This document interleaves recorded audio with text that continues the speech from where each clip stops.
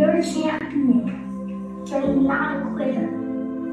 Quitters don't do what they're supposed to. Champions do. And you're a star. And you shine.